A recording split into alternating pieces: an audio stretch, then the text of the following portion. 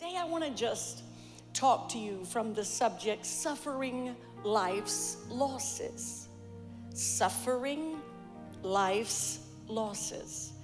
We have all been through a lot of losses in our life. Uh, 2020 has not been uh, so kind to a lot of people. And the, the fact of the matter is, is we have been through losses before we ever embraced 2020. And, you know, so for some, it's just loss upon loss. And today I want to just speak to your heart and I want to give you some things on uh, that I believe, things I've put into practice that I believe will help you as they have helped me when we start going through losses in life. Father, today I thank you for the privilege, God, of just being able to worship you, to be able to break the bread and feed the flock that have pulled their chair up to their computer or to your table today. And I pray, God, that you will let this word find every man, every woman, every boy, every girl, every believer, every non believer. I pray, God, that your word will be effective today. Use me to declare it among the nations, and I'll give you thanks for it in Jesus' name. Amen and amen. Today we're going to talk about loss because that's where a lot of people have been. 20 somebody said the other day, "What has 2020 been?" And I said, "Well, it's been a year of sobering. It's been a year of sobering. It has definitely got our attention, and I don't think that there will be uh, many of us who will forget 2020 anytime soon because a lot of people have suffered loss. They have suffered loss upon loss, lost loved ones, lost family, uh, lost jobs, lost housing uh, lost income. So many people have suffered loss. And it is sobering when you begin to stop and realize that there is absolutely nothing that is around you that is permanent. Nothing that is around you is permanent. That, that is sobering, like there. And uh, it is an honest fact that if we live long enough, that we will all experience some kind of season of loss in our life, seasons that will uh, take away things that were very important to us, things like your job, things like your family, things like your health. Uh, things like relationships that you thought you could always count on. Uh, it will take away your peace. It'll take away earthly possessions, uh, your family, your marriage. At, at some point, um, even many of us have and will experience the death of someone that we really loved and cared about and we held deeply in our hearts. And uh, many of you have found yourself in these situations and you're trying to cope your way through, or you're trying to grieve your way through this very kind of loss that I'm talking about right here in the year of 2020. Now, um, if, if that's not where you are today, I want to encourage you to lean in, listen close, and take good notes because at some point, I promise you, in your life, you are going to need the things I'm going to tell you today. If it is you, then for sure, lean in, listen close, and take good notes because I'm going to try to give you five keys today that I believe will help you as you suffer life's losses. Now, it is obvious to to most of us, I'm not gonna say all of us, but I am gonna say to most of us, it's obvious that life isn't fair. It's obvious that life isn't a fairy tale where, everybody is going to end up happily ever after. Ecclesiastes, uh, I'm sorry, Ecclesiastes 8 and 14 in the New Century Version says it like this Sometimes something useless happens on earth. Bad things happen to good people, and good things happen to bad people. And such is life. We have all seen that. And, and before I really get, get into giving you those five keys that I think you're going to need, I want to just, I want to say a couple things to you. One of those uh, things that I want to say is that we often have a tendency that when bad things happen to us, we think that we are bad. And we also have a tendency that when to think that when good things happen to us, it's because of our own goodness. But in all actuality, neither one of those um, are those statements that I just made are true. Uh, when good things happen to us in life, it is called grace. It is called the grace of God. And when bad things happen to us, it is life and it is just what we have to go through. So, um, somebody says, Well, why is it like that? And I'll tell you why it's like that. Because we live in a world that is broken. Our world is broken. It's been broken by sin. And as a result, we have all kinds of things that are happening. Um, our world is broken. And, and because of that, things don't always go uh, in the direction that we have planned for them to go. So there will be times, even if you're a believer, there will be times uh, where bad things might happen in your life. Uh, and, and a lot of times, those things are not your own fault. Now, granted, there are times that we reap things because we sowed them. But sometimes um, we will be stuck facing things uh, in life and we are innocent in them and we are somewhat victims to them. And sometimes we're going to hurt and we don't deserve it. And we're going to cry and we really shouldn't have to. And we're going to face losses that, that are completely unexplainable. Such is life, and we need to know that. The second thing that we need to know uh, is that everything that happens in our lives is not necessarily the will of God. You can just turn on the news and, and watch people uh, see story after story where people are struggling. We see innocent children, innocent elderly people. We see babies. We see uh, uh, all kinds of people suffering at the hands of abusive people or, or, systems that they have found themselves locked into. And someone uh, might just say, well, that must just must be the will of God for their lives. Are you kidding me? That is not the will of God. And here's how here's why I'll tell you that because God is not the author of evil. I said God is not the author of evil. He is not the author author of division. He is not the author of a lot of things that we are seeing happen in our world today. Now, many people would like to try and blame God uh, for the terrible things that are happening in our lives, but do not blame God because God is grieved as much as you and I are, if not worse than we are. Somebody says, Well, couldn't He stop all of it? Couldn't He stop racism? Couldn't He stop crime? Couldn't He stop murders? Couldn't He stop uh, shootings of innocent? Innocent people? Of course he could. He's God. He could take the freedom away, uh, uh, the, the, freedom to choose away from uh, people that are evil, and they would never be able to do that again. But to be fair, if he took it away from people that were evil, he'd have to take your freedom to choose away too. He would have to take my freedom away too. And and and so God, here's the truth. God has a will for our lives. He's got a will for your life. He's got a will for my lives, but my life. But the problem is that too many times we choose our will over top of his will. And when we choose our will over top of his will, people are going to suffer.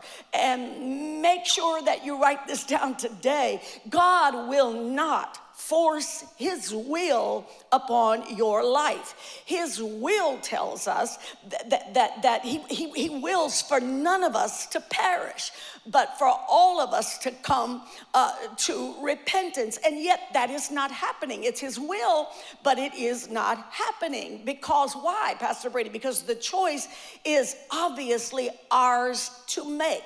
We have to make the right choice. Why? Because his will is not always done. And that's why when we pray, we pray, Father, let your kingdom come and let your will be done. That's what I've found myself praying lately. God, let your will be done on earth. Why? Because his will is per- what, whatever you're doing in heaven, God, let it be done on earth. Why do you say that? Because in heaven, everything is perfect, uh, but it's not all always that way on earth. So as a result, we end up facing hurt and we, we face pain and we face loss and we face crisis. But God, in, in the middle of all of that, He is a good God and He gives us a word and He gives us hope that we can handle the losses of life that we find ourselves having to face. And today, I want you to write these things down because I believe that these keys are going to help you, like I have experienced in my own life. I believe they will help you as you face whatever you have lost in life. Here's the first key. Number one, when you find yourself facing losses in life, number one, release the grief. Release the grief. I know first handedly that loss can produce very strong emotions. And when you've been through any kind of, of, of, a major loss, there is all kinds of emotions. You've got emotions like anger. You've got emotions like fear and worry and sadness. And sometimes even you have to deal and you struggle with grief. And whenever there has been a loss that has been suffered, whether it's the loss of a career or a spouse or a way of life, or maybe it's the loss of your freedom or your identity, or the loss of a dream or a business or a home or a family member that you used to talk to every day, and now you can't pick up the phone and just call them like you have always called them. When we go through things like that, emotions start rising up inside of us, and if we don't face them. And if we don't feel them and if we don't deal with them, then ultimately it's going to take us longer to recover from our losses. But, and here's why because if you if you start stuffing what you should be facing, then, then there's going to be all kinds of war that's going on inside of you. And some of you today are struggling with unreleased grief that is inside of you. You've pushed it down, or you've tried to, to pretend like it wasn't there, or you've had to be strong for everybody else that's in your family. You tried to act like maybe, maybe this isn't real, or, or maybe, maybe I, I'm just gonna keep pushing it to the side. But you gotta stop pushing it to the side because ever how long you push it to the side, that's how long it's going to take for real healing to come into your life. That's why some of you right now are still still struggling from losses that happened 20, 30, 40 years ago because let me say this you will only heal as you allow yourself to feel. So you have to allow yourself to feel what you lost if you want to be healed from the loss that you've experienced. Some people try and they they go through a loss and they try to take a very deep route. And, and they say things like you know well i'm just going to suck it up because god would not be pleased if i just let myself break down like this. Or or they would say i am too spiritually strong. I've got too much word in me to be so overtaken with grief or or to go through to go through uh, and be weak when i should be being strong. And others would say well i think i'm just going to plaster a smile on my face and say praise the the Lord all the time. God is good and God is good all the time. And, and we think that God will be angry with us if we allow our real emotions to surface. But let me, can I help somebody today? Listen, whether you have lost a grandparent to Alzheimer's, a parent to COVID 19, a brother to cancer, a sister uh, to drugs, whatever you have lost, if you have, have, have had to deal with the, the betrayal of a friend, hand or the stabbing in the back by someone who called you uh, uh, uh, your, your brother when in all reality they were your enemy. God does not expect us to have to go through all of those kind of things and just smile our way through it. As a matter of fact, Jesus taught the exact opposite in Matthew chapter 5 when he said, Blessed are those who not smile, but those who mourn for they shall be comforted. Here's what I want to tell you today grief is a gift from God that helps us to cope with the losses that we are feeling with in life, dealing and dealing with in life. Let me say it again grief is a gift from God that helps us as we cope with the losses that we are dealing with in life. I want to ask you today what are you doing with your feelings? How are you, how are you coping? Are you facing them or are you fleeing from them? Your grief has got to be released. If you don't shout today, I'm okay with that because I want to give you something that I believe will help you make it through Monday, Tuesday, Wednesday, Thursday, Friday, Saturday, and on into the weeks to come. I want to tell you if you have grief in you, it has got to be released. Don't repress it, don't rehearse it over and over and over. You've got to release that. How do I do that, Pastor Brady?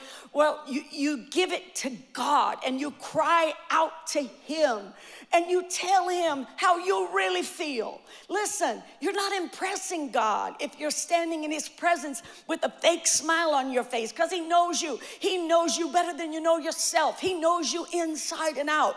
So you might as well come to him and say, God, my heart is broken. I don't know how to take it. I don't know how to face it. I don't know where I'm going to turn. And I'm really struggling with what is happening in my life. Pour your heart out to Him in prayer and believe for a breakthrough. Breakthroughs are available today. Don't let anybody tell you breakthroughs are not available. Breakthroughs are available. Well, how do you get them? You pray for them. You pray for breakthroughs in your life and in the life of your family and in the lives of those that you love. You pour your heart out to God and you get honest and you get very real. David did, and he told us in Psalm 62 and verse 8 Pour your heart out to God because He is your refuge. He is your refuge. God is your strength. He is your fortress. He's your strong tower. He is your hiding place. He said in Psalms 34 and 18 that the Lord is close to the brokenhearted, and he saves those who are crushed in their spirit. So pour your heart out to God. If you have a loss that you are grieving, any kind of way, any kind of loss in your life, let it out, release it, pour it out to God. Don't take it out in anger on other people, but turn to a prayer closet somewhere. Pour your heart to God. Don't just push it down, but push it up to the place that can actually get some help. And why am I saying that? Because grief that is stuffed is grief that is not processed. So we have got to release the grief because if we don't, if we don't uh, release it, then I'm telling you, if you if you if you don't grieve right, you will not heal right. And it is important, if God has given you tomorrow, it is important for you to be able to live it, to seize it, and to do whatever He has assigned you to do in your tomorrow. But you will not be ready if we don't release the grief. So, key number one when you're suffering losses in life is release the grief. Second key, receive from others receive from others. Now, uh, for many of us, receiving doesn't always feel normal because we are used to, to being on the giving side. And it's much more easier for us to, to be giving than it is for us to be receiving. However, the Bible clearly tells us in Galatians 6 and 2 bear ye one another's burdens. The Living Bible says in Hebrews 12 and 15, Look after each other so that not one of you fail to find God's best blessings. Look after each other. Now, receiving from others, uh, it, it, it, could, for, for many of us, it could go against our nature.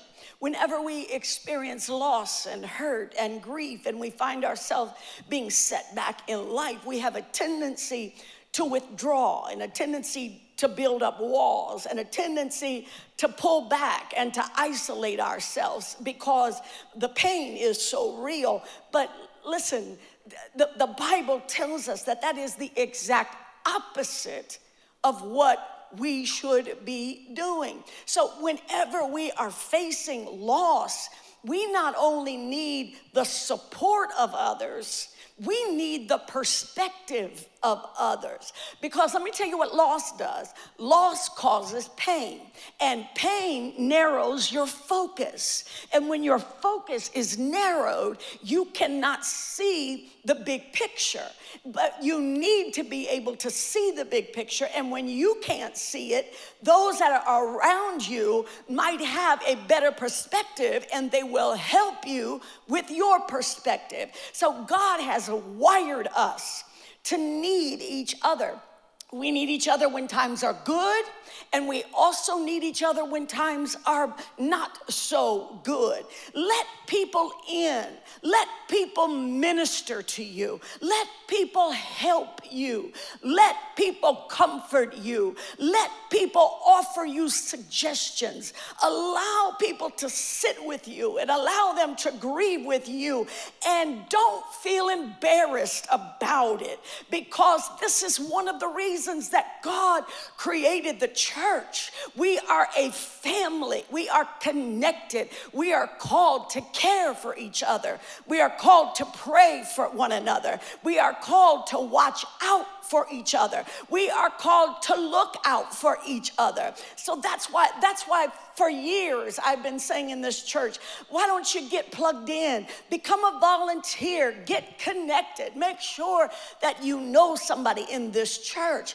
because I know, and I still know that there will be days ahead that we are going to need one another. So, what we need to do is we need to build those relational bridges with other people before we face the inevitable losses that we face in life. Look after, he said, look after each other so that not one of you will fail to find God's best blessings. And when we face losses, somebody said, Well, I'm just gonna stand on the promise. I'm just gonna hide out over here and I'm going to stand on the promise. Well, I'm, I'm with you that we, we do need to stand on God's, pro- we need God's promises when we go through losses. But I'm going to tell you something else we need. We need God's people. We are wired to need one another. So in order to, to survive the losses that we face in life, we have to release the grief. That's the first key on your keychain.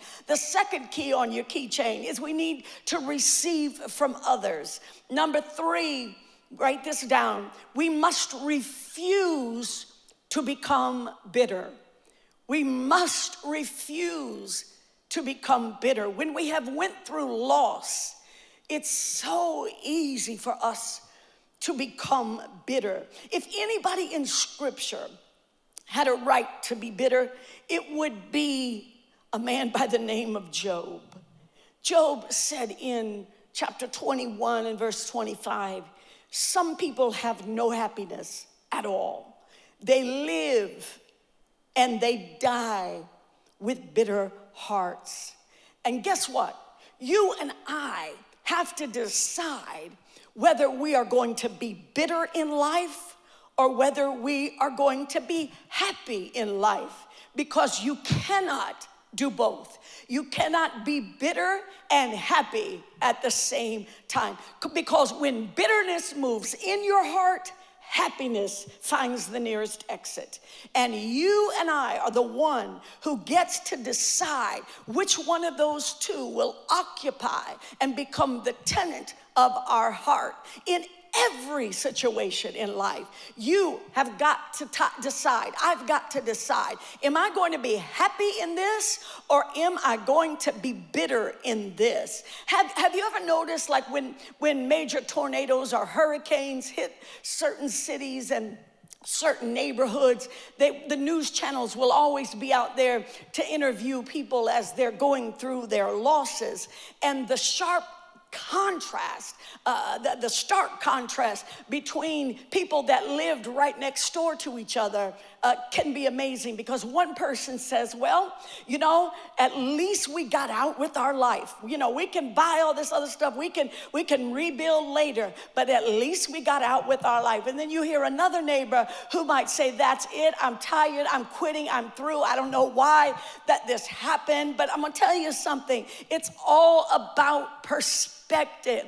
And we have got to learn that it is it's our choice. We either are, decide to be happy in, in the situation or or we decide to totally quit. But there, there, I'm gonna tell you today, there is really, in really, there should be no correlation between our happiness and our circumstance, especially when we know Jesus. You know, and I know people who have had a hard time all of their life. They came up, uh, uh, they used to sing the rough side of the mountain. They had to fight for everything. They had to fight for education. They had to fight to put food on the table, had to fight to get their kids uh, all the way through school, had to fight to get the job, had to fight on the job, had to fight to keep the job. I mean, it looked like everything was against them, but what they did was they took the hand that they were dealt and they won with that hand. It wasn't a good hand, but they found a way to be a winner with it. And then we have other people who are handed everything like on a silver platter,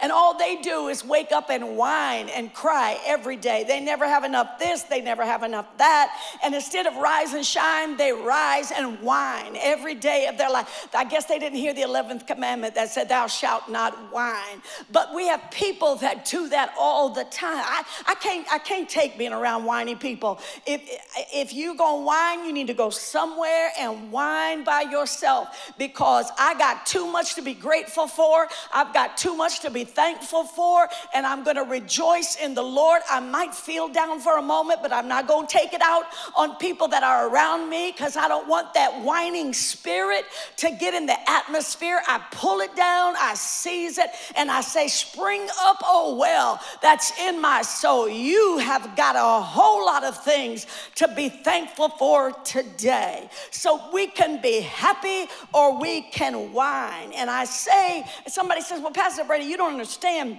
because I've got real problems. I, I do understand real problems. I've had real problems too, but do you know that there are other people who would love to have your problems? They would love to have to pay a mortgage payment. They don't have a roof over their head, and they would love to know that they had a mortgage payment that they could pay. They would love to know that they could make a car payment. They would love to know that when they go to the doctor that they have to pay a co-payment where we might fuss about that. But other people would be like, Lord, I wouldn't know I'd be so happy if all I had to do was pay a co-payment. There are other people that would be like, uh, uh, I'm tired. I live on the third floor and I got to carry all these groceries up to the third floor. Do you know that there are other people that would be so happy to carry groceries up to the third floor? Other people are saying, God, I don't know how I'm going to feed my children. It's all about a matter of of perspective. I was watching this week um, in, in Houston where they were evicting families, uh, families with small children.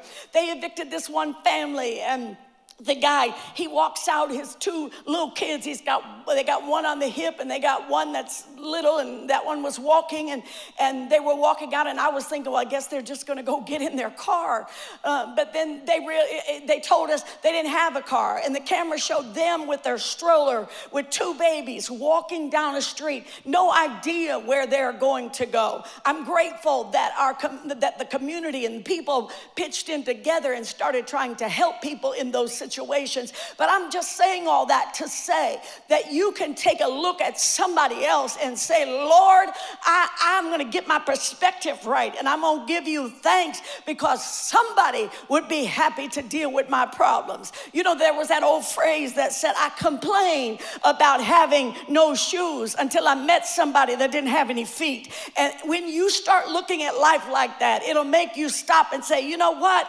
In the name of Jesus, Lord, I thank you for what I do have. I may not ever have everything I want to have, and I may not even have everything everything that I need to have. But Lord, I trust you. Somebody is much worse than I am. Let me tell you something bitterness, if you're not careful and you don't get it out of your spirit, it will make you selfish. Bitterness will make you selfish, it will make you self serving, it will make you self centered. But let me tell you something else it will do it will make you spiritually sick. Hebrews 12 says, Watch out that no bitterness take root among you. It causes deep trouble, hurting many people in their spiritual lives. Bitterness is after your spirit. Let me say that again. Bitterness is after your spirit, especially when you have gone through losses. And when we allow bitterness to, to be a part of our life, when we when we open up the door and we allow bitterness to come in, then what we end up doing is we end up actually hurting ourselves. Well, you don't know what they did to me. If you knew what they did to me, let me tell you something. I may not know, but there's a God that knows. And if they were wrong, put them in the hands of God and let God deal with it. Own what you got to own, though. Quit pushing your stuff off on everybody else, acting like you ain't done anything. Let me tell you something. Let a man examine himself and say, God, how did I get where I am? And if you'll examine yourself and straighten up your heart, God will help you get out of the mess that you are in. And I'm gonna tell you, life, life people are gonna hurt us. People are going to hurt us both intentionally and they're going to hurt us unintentionally. But when we attempt to get vengeance ourselves, God washes his hands and he walks away from the matter. And he says, We ain't both fitting to fight this. You go fight it or I'm going to fight it. And it's better to leave it in the hands of God. And here's how you know when you're not bitter anymore when you can take what you've been through and you feel like you've been wrong, and you can take that and put it in the hands of God and walk away, and you're not driven by that 24 7. That is a sign that that bitterness is coming out of your spirit, and you have got to get it out of you. There are two ways that we can refuse to become bitter. One is we've got to accept what cannot be changed. Accept what cannot be changed. Job said in 11 and 16, he said in the Good News Translation, Put your heart right, Job. Reach out to God. Put away evil and wrong from your home. Then face the world again, firm and courageous. Yeah, Job, you've been through some losses. But I want you to get your heart right. I want you to cry out to God. And if you will do that, then I will help you face the world again. And when you face it, you'll face it with, with courage. You'll face it with assurance and know that God has got you and it's going to be all right. So, one of the marks of real maturity is that you begin to realize that life is out of your control. Life is out of your control. And sometimes the only way that we can manage the unmanageable situations in our life is to accept them for what they are. I know some of y'all, that's rocking your world right there. Oh, Pastor, I can't just, I'm not accepting that. My faith, uh, my faith will not let me just accept that because that would mean that I am denying my faith. Hello, let me ask you to take your church ears off for just a minute. Faith is not denying reality, faith is refusing to be discouraged in the face of reality. That's what faith is. And sometimes acceptance is the first step toward peace. You might say, I don't understand it, but God, I'm going to find a way to get through it.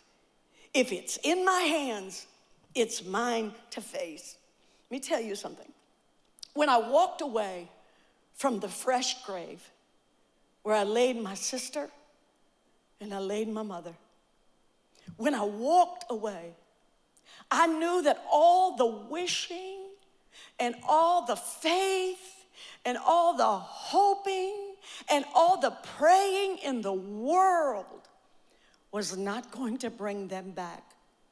And the only way I could find the grace and the peace to keep moving is to accept it and to pray, Lord, help me to accept the things that I cannot change, the courage to change the things I can, and the wisdom to know the difference. That's an important key to surviving life's losses. Here's the fourth key remember what's important. Remember what's important. Put it all in perspective.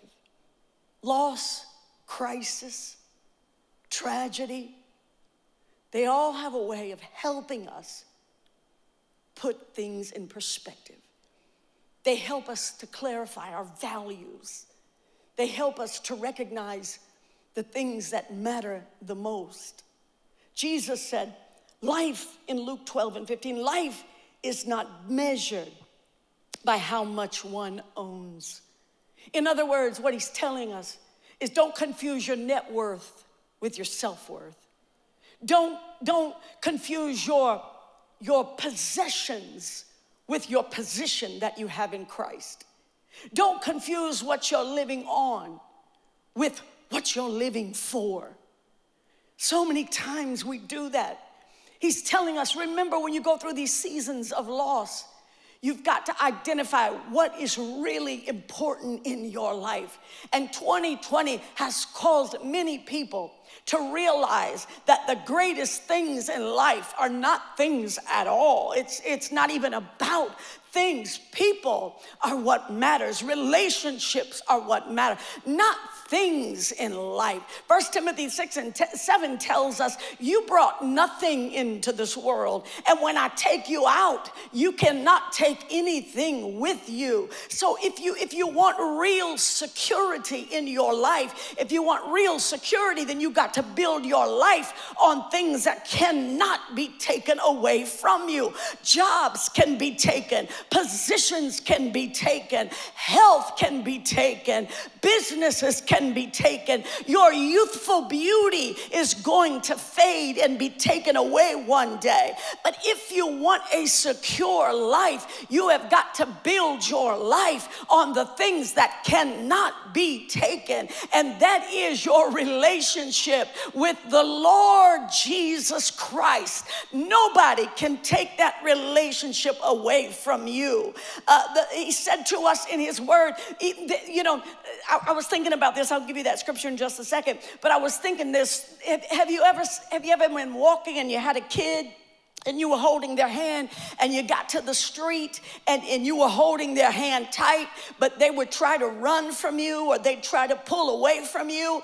But because you love them and you don't want to see them hurt, what do you do? You just yank that hand and you pull them back into alignment. Why? They might want out of your hand, but you're not letting them out of your, uh, uh, uh you're not letting them out of your hand because you don't want them to get hurt. Well, the Bible says that they, God Himself, is saying, They are in my hands, and no man can pull them out. You may want to pull away from God at times, but trust me when I tell you, He's got a grip on you, whether you got a grip on Him or not. So put your trust in Him. You grab that child because you're like, uh uh I can't, I'm not going to let that happen to you. I'm going to pull you back. You know why? Because that child's life matters to you. But God is saying, Your life matters to me. You might go through some losses, and I might have to yank you a time or two, but I only do it because I love you and I, you matter to me. That's what we got to know. We got to know what matters most in life. And trouble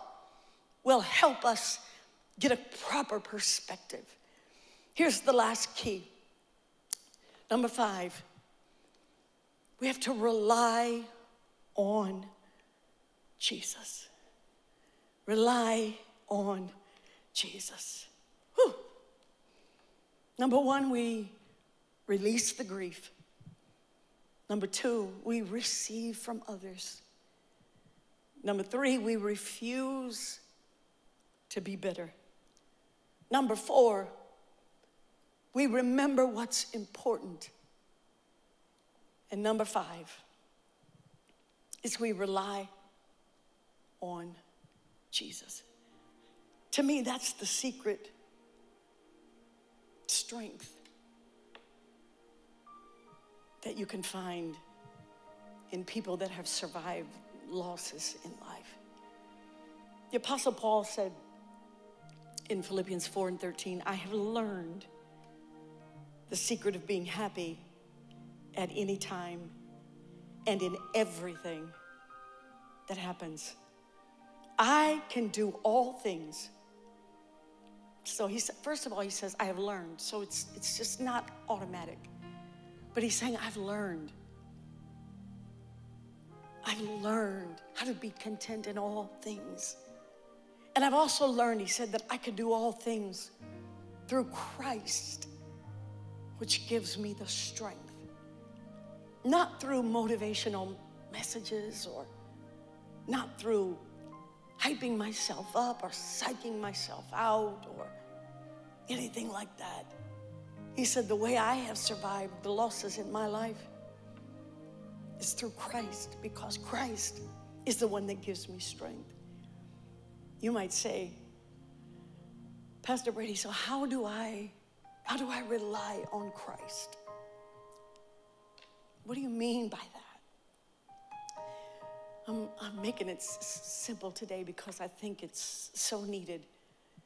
But when you find yourself facing losses in your life, losses that have just like knocked you for a loop. Anybody know what that's like? You're like, what in the world? Whenever you find yourself being forced to face losses that just knock the wind out of you. Number one, lean on God for stability. When life knocks us off our feet, the first thing we need is something to help stabilize us. And it's always better when you lean on something that's stronger than you are. He's the one. He's the one that has the ability to stabilize you. I don't know who I'm talking to right now, but somebody has been reeling and rocking. Life has knocked you for a loop. But God wanted you to tune in right here today so you could hear me tell you rely on Him. He's your stabilizer. Look to Him, reach for Him.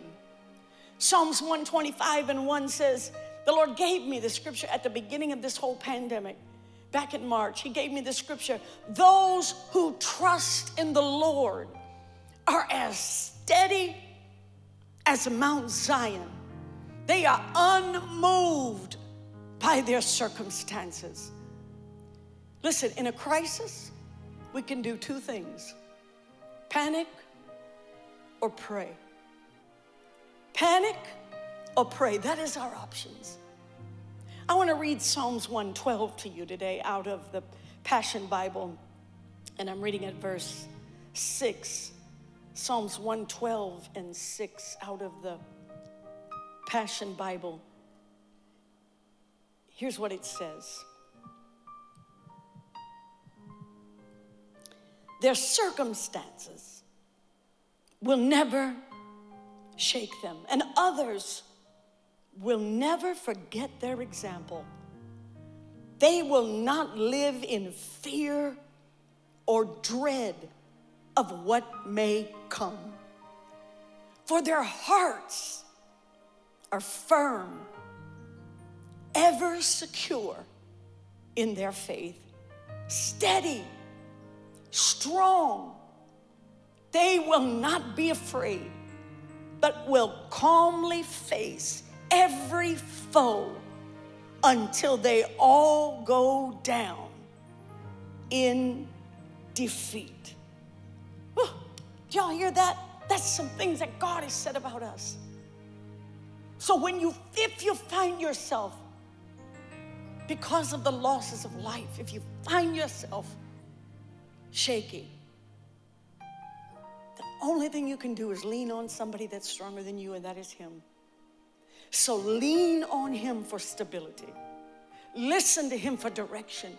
In Jeremiah 29 and 11, He said, I know the plans that I have for you plans of peace and not of evil. I've got I've got hope in the plans for you. He's got hope in the plans for somebody that's watching me today. Your, your, you've got plans that are filled with hope. I know that the enemy is trying to tell you something completely different, but hear me today.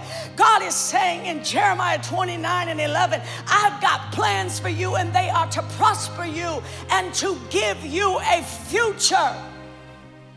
Remember, God's purposes for your life are always greater than your problems in life. His purposes for your life are always greater than the problems that are in your life. So lean on Him for stability, listen to Him for direction, and look to Him for salvation. Salvation means freedom, it means liberty, deliverance, it means restoration, and it means help and wholeness. With Jesus Christ, Somebody needs to hear me today. There is no situation that is too hopeless. Because we can do all things who? Through who? Through Christ that strengthens us. He is not only the hope of the world he's the hope of your world. He's the hope of your situation. He's the hope of your family. He's the hope of whatever you are going through. And let me say this, and I'll close. When we find ourselves going through seasons of loss, sometimes it feels like they will never end. And somebody is saying that today Pastor, will this ever end? It seems like it's one thing, then I, I barely get over that, and it's something else. And it's all getting to me. Will it ever end? Let me tell you something. Just like every other season in life, this too shall pass. This too shall pass. Hold on. Come on, where are you? Get up to your screen. Let me see your face. Hold on. This season will pass. Sometimes it's hard when you're in the middle of it to see hope for the outcome. Hold on and pray. Cry out to God because this season will pass. And in the meantime, trust on trust in him.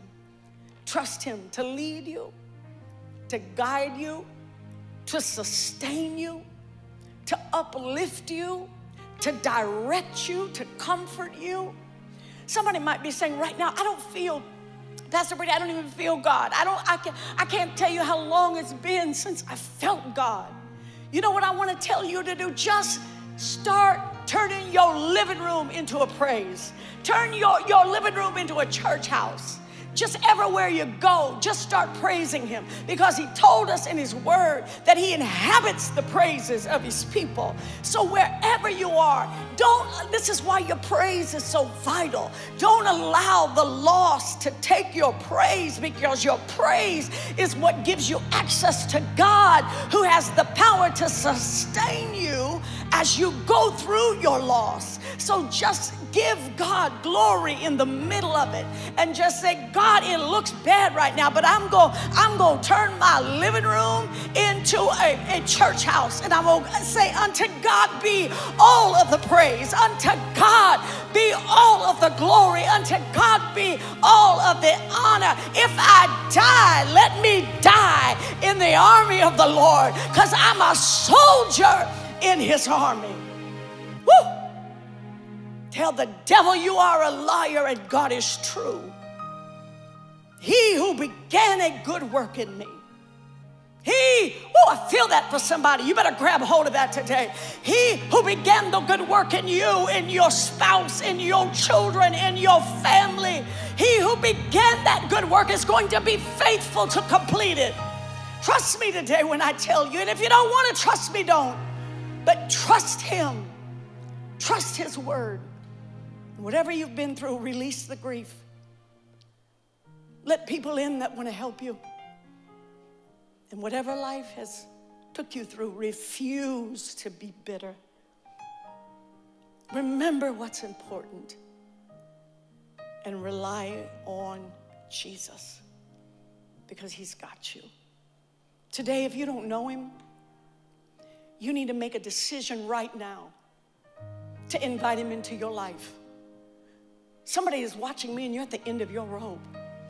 And you say, I, I, don't, I don't know what to do. I don't even know why I'm watching you, Pastor Brady. Because God loves you enough to yank your hand and say, hey, come this way. I want to pull you back from the traffic. I want to pull you out of a dangerous place and into my presence. Wherever you are, if you don't know Jesus, this is a great time to open up your heart and invite Him to come in. If you want to be saved today, I want you to pray this prayer with me. Say, Lord Jesus, come into my heart. Forgive me of my sin. I've done it my way. I've let my will prevail. And today, I'm laying it all down and I'm asking you to move in, be the Lord of my life. Thank you for giving your life so that I could have life. And I pray this prayer today in the name of Jesus. If you prayed that prayer, you are saved today. If you believed it when you prayed it, you are saved today. There might be a little button that you can click and you can let us know that you gave your heart to Christ. If that was you today, please click that button and, and, and we want to stay connected with you because we got a gift that we want to send you because we just want to celebrate today that you made the greatest decision you will ever make in your life. Now, let me tell you, doesn't mean things are going to be perfect, but you do have a God that you can turn to now and cry out to, and that God will help you right where you are. I trust the rest of you enjoyed the word from God today.